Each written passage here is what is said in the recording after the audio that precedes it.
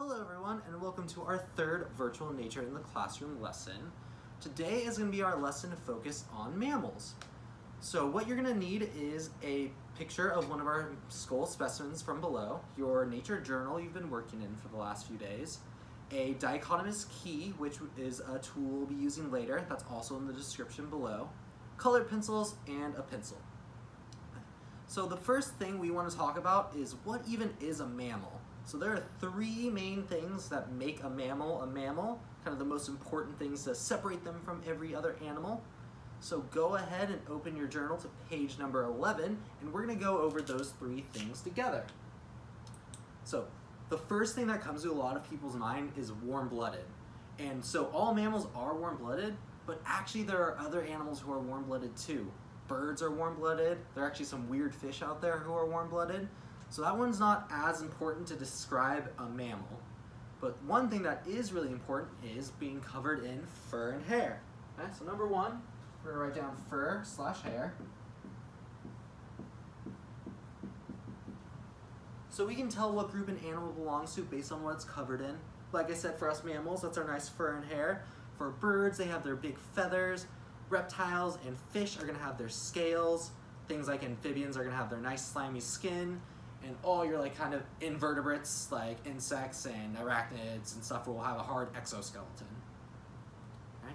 So our next thing is going to be how we have babies, okay? So most mammals are gonna give live birth.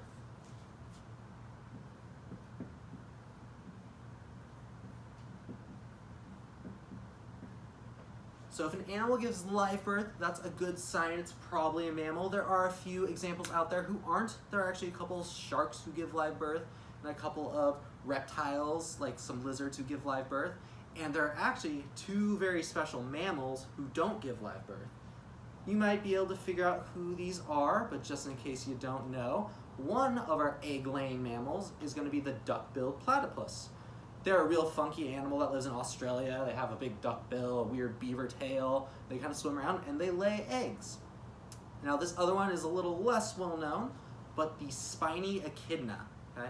Spiny echidnas, they're little spike balls.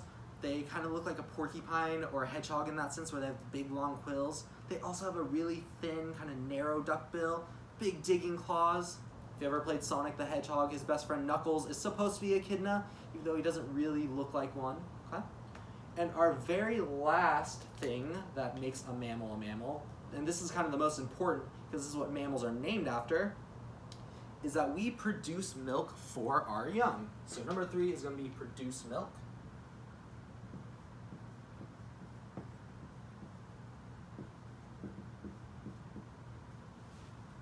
So all female mammals will produce milk for their babies.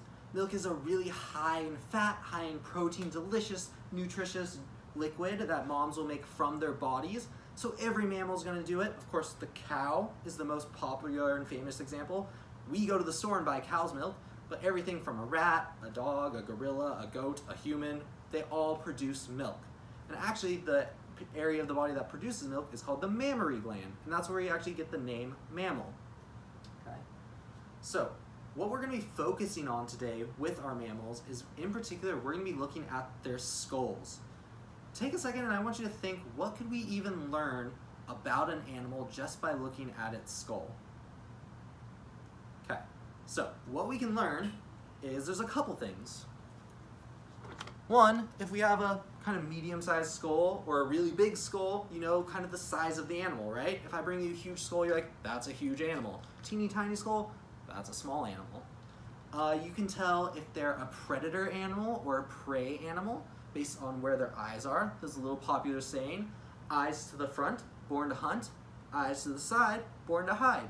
So like an animal like a tiger, their eyes are gonna be in the front of their face so they could watch their prey while it's running away. While a prey species, like a deer, their eyes are gonna be on the side. That way, when they're down and grazing, they have a bigger field of vision to see if anyone is sneaking up on them.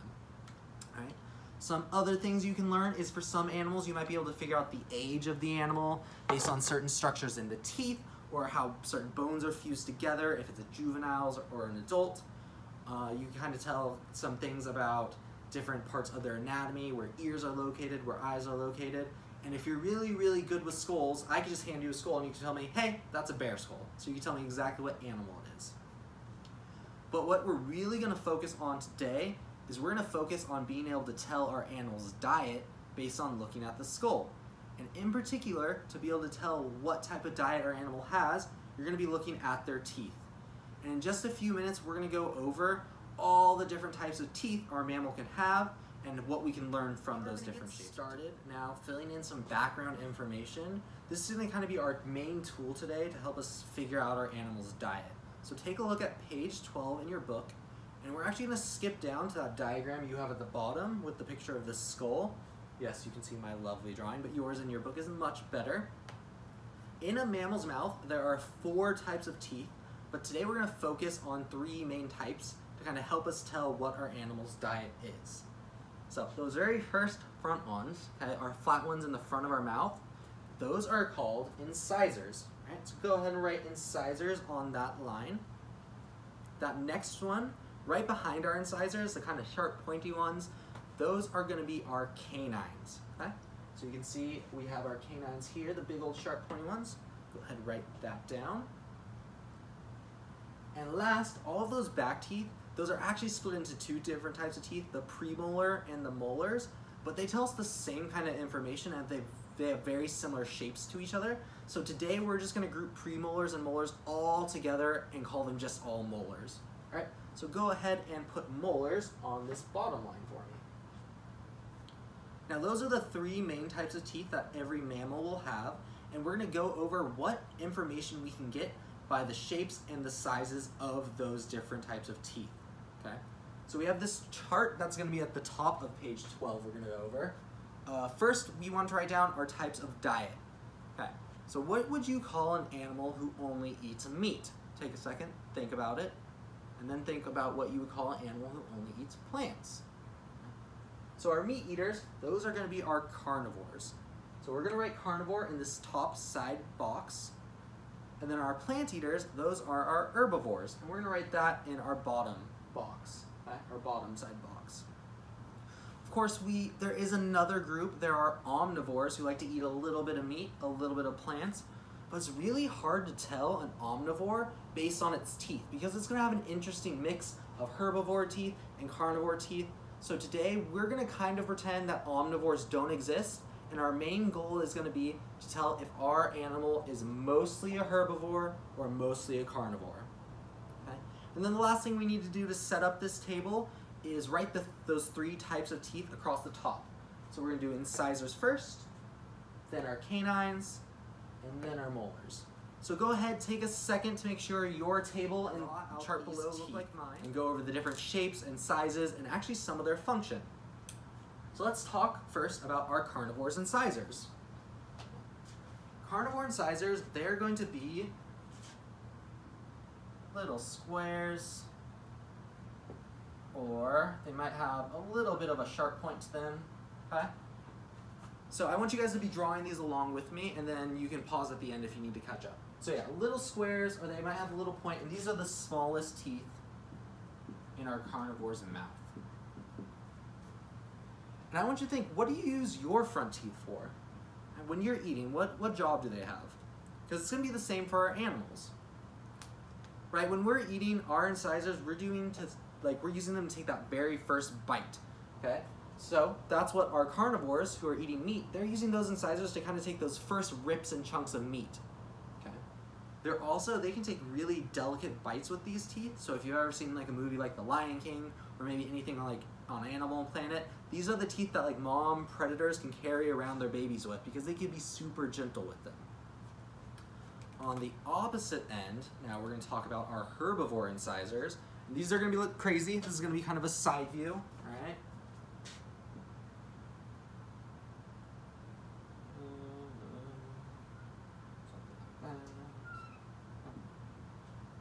So yeah, this is like a weird, crazy side view. Uh, I want you to think of like a beaver's front teeth or a rabbit's front teeth. Right? They're really big, they're long, they're curved. These are actually going to be the largest teeth in their mouth largest. Now these work in a similar way where our animals are going to be taking those very first few bites of food with those front teeth, but their food that they're eating is going to be a lot tougher and harder to eat, right? Imagine eating a really nice steak, right? That's easy, that's soft, compared to going outside and chewing on a stick, right? That's going to damage your teeth. That's really hard and rough and tough. So you might actually notice that in some herbivores' teeth, they have a nice like orange yellow color to the front of them. That's not because they're dirty and they didn't brush. That's actually because herbivores are gonna have a buildup of iron in those front incisors. And that iron makes their teeth stronger so they can chew through that really hard material, like those trees, those leaves, those seeds, those nuts, whatever particular part of the plant they are eating. Next, we are gonna move on to our carnivores canines. Think about a canine. What do you, what's the first thing that comes to your mind? Right? They're really long, they're sharp. I want you to think like a wolf's long tooth, a tiger's long tooth, even a saber-toothed tiger, those really, really crazy long ones. They're gonna be long and pointy and curved. And these are gonna be our largest teeth in the carnivore's mouth, okay? The largest. So now what are these used for? Well, they kind of have a similar job to the incisors. They're helping rip out meat and like take it and move it back to the rest of the mouth. But these are also a carnivore's main weapon. This is kind of what they're doing their killing with when they're hunting. So like a lion will use these to bite down on an animal's neck to make sure it dies. Um, they're really sharp. They may use them to like choke something or bleed them out. Right? So think about it like almost having a knife in your mouth all the time.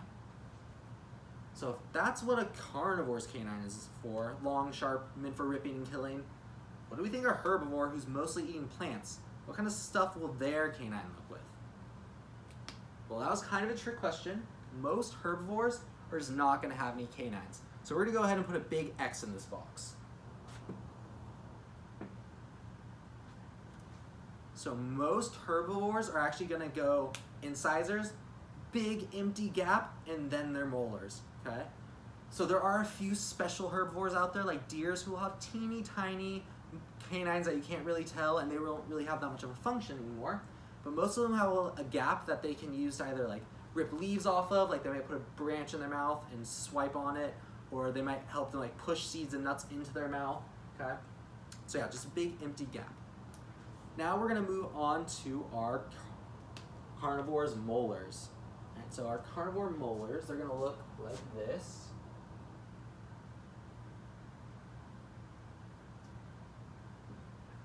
They are gonna be sharp and bumpy. They look almost like a crown or a mountaintop. So these are, think about how we use our molars, right? We're doing most of the actual chewing with our back teeth. Same with our two groups of animals. But since the food they're eating is so different, the ways that their molars help them chew is different. These guys, the carnivores have those long, kind of sharp, spiky molars that kind of help slice and cut apart meat. They will slide across each other like scissors. And you might notice I drew a really big spike here. So some of our carnivores, particularly the dog group, so like coyotes and wolves, they have that big spike because they like to break into bone. Because inside bone is something really yummy known as marrow. So bone marrow is really high in protein and it's really good for animals. Uh, that's why our pet dogs at home like to chew on bone so much. And actually humans enjoy marrow too. We'll add it in all sorts of different recipes. So our very last tooth we have to go over is gonna be our herbivore's molar. It's gonna look a little different than our last one. Take a second, think, if this one's sharp and spiky to help me rip and cut apart meat, what do we think someone who's chewing on plants is gonna look like?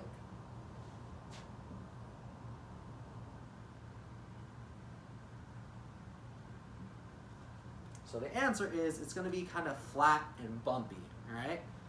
So think about it this way. They're eating lots of hard, tough plants like leaves, and so it's really hard to digest that stuff. So their teeth, they kind of grind on top of each other. So they'll put the plant matter like in between and they grind it up to make a nice mush. So these are all of our different teeth, and this is gonna kind of be our main tool today to be able to tell what type of diet our animal has. So take a second, pause the video here, make sure you fill in this chart, and you're gonna probably wanna refer back to this chart later on in the lesson when you're trying to figure stuff out. Now let's turn to page 13, and we're just gonna focus on the very top part. So on the top of page 13, we are gonna be making a hypothesis. So if you think back to our other two lessons that we did, there are two main parts to our hypothesis that we need. Our first part is what we think, our prediction, our guess, and then our last part is our reason because, our reason why. And today, our particular hypothesis we're gonna make is if our skull is either a herbivore or a carnivore, okay? So go ahead, open up your picture of a skull, and look back at that chart of teeth we just made to see which teeth best match your skull. And I want you to be specific, so I don't want you to say, I think my skull is a carnivore because of the teeth, right? That doesn't tell me a lot of information. I want you to be more like, I think my skull is a carnivore because it has really long and sharp canines, or because the molars are nice and spiky, okay? So be specific, tell me what type of tooth, and the shape or size of that tooth that's letting you know that, okay? We could do a quick example of mine. So this is my skull. I think my skull is a herbivore. I think my skull is a herbivore because it has long incisors.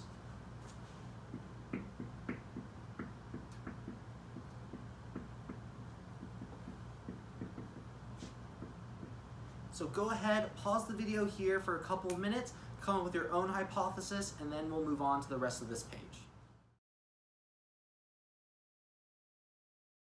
So now we're going to take a look at the bottom of page 13, where we're going to do four scientific drawings about our skull.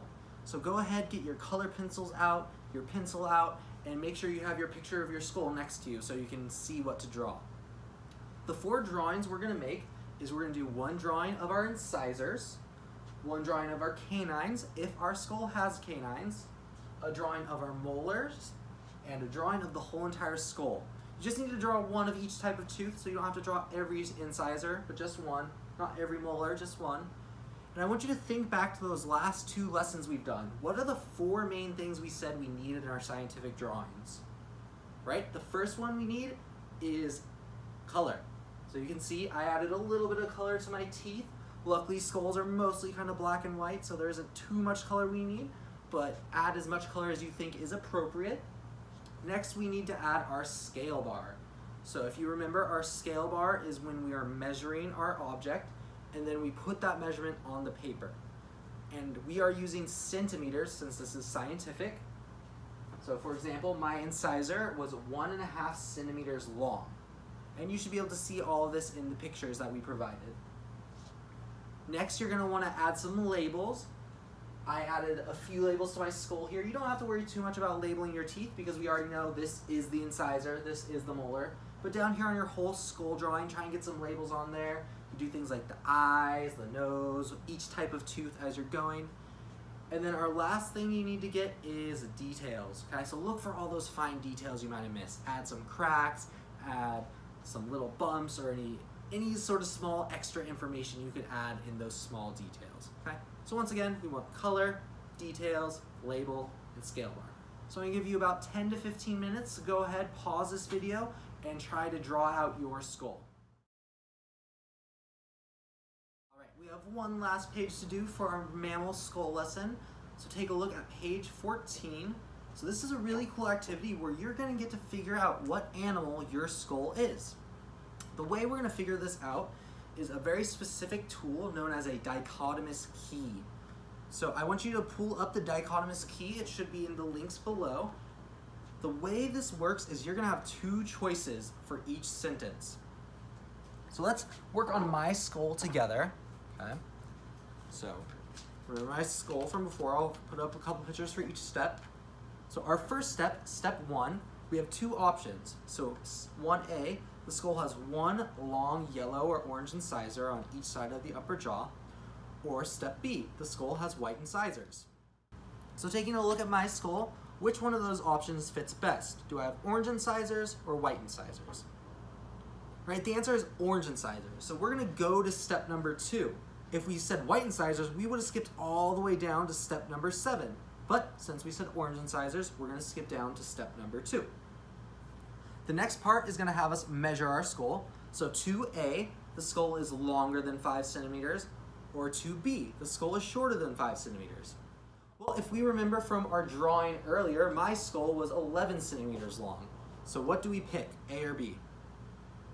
Right, so we're gonna go ahead and pick A. So that means we're just gonna go right down to number three. Same thing, we read A and B, and we figure out which choice to do next. So 3A, there are four molars on each side of the upper and lower jaw. Or 3B, there are more than four molars on each side of the lower and upper jaw. So let's count our molars. So for our upper molars, we have one, two, three, four. For our lower molars, we have one, two, three, four. We have four so, molars on both the upper and lower jaw. What does that mean? That means we choose option A. And option A says our skull's a beaver, which is correct. The skull we've been working with is a beaver.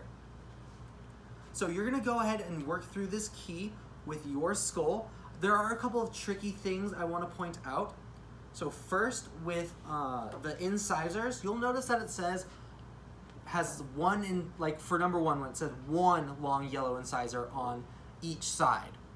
If we take a look at my skull, right, there are two yellow-orange incisors. So in skull science, they like to talk about the left side and the right side separately. So even though I have two incisors total, I only have one on each side. So make sure when you're counting the incisors that you're gonna cut that number in half, okay? So if yours has six incisors, you only have three on each side. Next, on some of our skulls, when you're counting the molars, there might be a really small molar that's kind of hard to tell if it's a molar or not, and we'll point that out in the picture and let you know if it's considered a molar or not. All right? Now let's see how we're gonna write down our answers. So take a look at page 14. The first thing you're gonna do is write down which number skull you're working with. So if you're working with number five, number nine, or number 11, go ahead and write that here. Then you're gonna work your way through your key and figure out what animal it is. Once you have your guess, you're gonna write on that line below, my skull is a, in my case a beaver, but whatever animal you figure out, write my skull is a. And then if you're feeling really like you're understanding how to do this, how to figure out skulls, you can actually open up the pictures for the other two skulls you didn't work with and try and figure out what animals they are. And for them, there's gonna be one more extra answer we want. So first you're gonna put the number, so number nine, 11, or five then what animal you figure out it is. So my skull is a, once again, we're gonna say my example, a beaver, but whatever animal you figure out. And then as an extra little piece of information, I want you to write what hypothesis, okay? I want you to write your hypothesis for if it's a carnivore or herbivore and why. So remember those different things that make it a carnivore or herbivore. Herbivore, the incisors, the canines, the molars, and remember the format for your hypothesis is I think blank because blank. For example, I think my skull's a herbivore because it has no canines. So we're gonna go ahead and pause right here and that way you're gonna take like the next five minutes or if you wanna try all three skulls, 10, 15 minutes and try to write down these answers and then once we're done with this pause, we'll come back and we'll have the answers for you on the board so you know what animals you were actually working with. Now let's go over our answers for our dichotomous key. If you chose skull number five, that would have ended up being the mountain beaver. If you notice, the mountain beaver had that really small, kind of weird extra molar we were talking about. That's a little hard to tell. If you went to skull number nine, that is going to end up being a raccoon. And if you went with skull number 11, that is going to end up being a coyote. If you want to learn more about these animals, we'll have a link down below to kind of some information about each one that the animals that you could have chose from, and actually all the other skulls that normally are a part of this lesson. And with that, we want to thank you for watch, watching our virtual NIC lessons. I hope you enjoyed and I hope you learned a lot, and we hope to see you again in some other video.